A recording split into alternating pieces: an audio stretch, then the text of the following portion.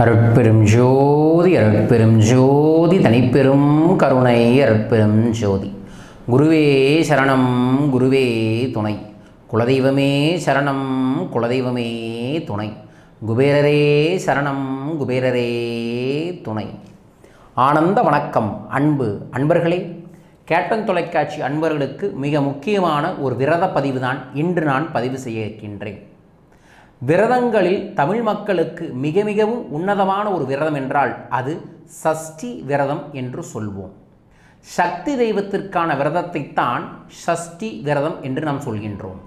அதாவது முருகனுக்குரிய விரதமாகவே இருந்தாலும் இதை பெண்கள் இருக்கும் பொழுது குழந்தை பாக்கியமாக இருந்தாலும் சரி திருமணத்தடை சரியாகக்கூடியதாக இருந்தாலும் சரி உறவுகளை பலப்படுத்தக்கூடியதாக இருந்தாலும் சரி சஷ்டி விரதம் சகல ஐஸ்வர்யங்களையுமே தரக்கூடிய விரதமாக இருக்கின்றது. அதுவும் வெள்ளிக்கிழமையுடன் இணைந்து வரக்கூடிய சஷ்டி விரதமாக இருந்தால் அத்தினத்தில் நாம் முருகனுக்காக நம்மை சமர்ப்பணம் செய்தால் நாம் நினைத்தது நினைத்தபடியே கிடைக்கும். அந்த அற்புதமான நாள் சரியாக இந்த மாதத்தில் ஜூன் இருபத்தி ஆறு வெள்ளிக்கிழமை வருகிறது. அந்த வெள்ளிக்கிழமை நாளில் காலையிலேயே நேரத்தில் எந்திரிச்சு குளிச்சுட்டு கிழக்கு திசையில் உதிக்கக்கூடிய சூரியனையை பார்த்து ஆத்மார்த்தமான வணக்கத்தை தெரிவித்து கொண்டு அன்றைய நாள் முழுவதும் நீங்கள் சொல்ல வேண்டிய ஒரு மந்திரம் ஓம் சரவண பவ ஓம் சரவண பவ என்ற மந்திரத்தை மனதார சொல்லுங்கள். பிறகு உங்கள் வீட்டில் முருகன் வேல் இருந்தால் வேல் வைத்து வழிபாடுங்கள். அல்லது மயிலிறகு இருந்தாலும் வைத்து வழிபடலாம். இல்லை என்றால் ஒரு கண்ணாடியை வச்சு அந்த கண்ணாடியில் முருகனை ஆதிகமாக ஒரு தீபமாக வச்சு அந்த கண்ணாடியையும் தீபத்தையும் வணங்குங்கள். கந்த சஷ்டி கவசத்தை சஷ்டி என்று உச்சரியுங்கள்.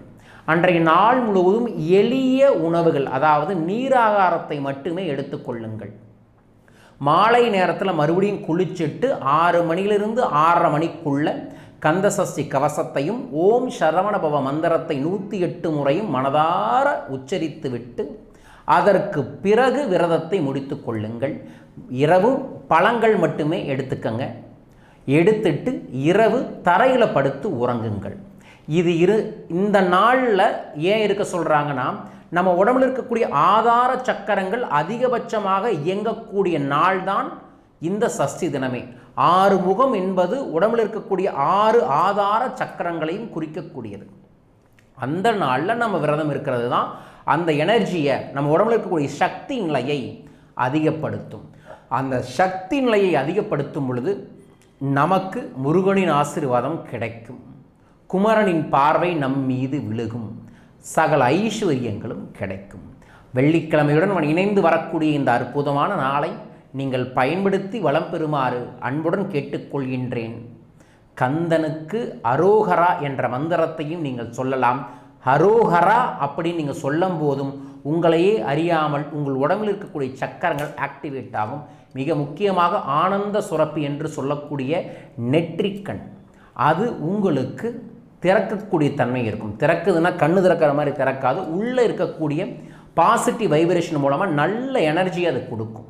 அந்த சூழலை நீங்கள் இந்த நாளில் ஏற்படுத்தி கொள்ளுமாறு அன்புடன் கேட்டுக்கொள்கின்றேன்.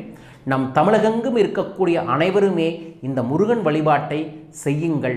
அல்லது அன்றைய நாள் முழுவதும் முருகா முருகா முருகா என்று சொல்லுங்கள்.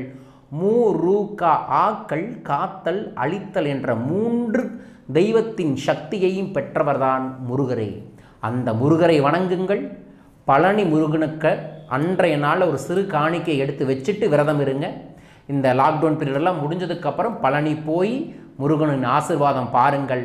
ஆறு தலை முருகனை பார்த்து வழிபாடுகளை செய்தால் வாழ்வில் ஆறுதல்கள் நிச்சயமாக கிடைக்கும். உங்கள் வாழ்வில் அந்த ஆறுதல் கிடைக்க வேண்டுமென நானும் மனதார பிரார்த்திக்கின்றேன்.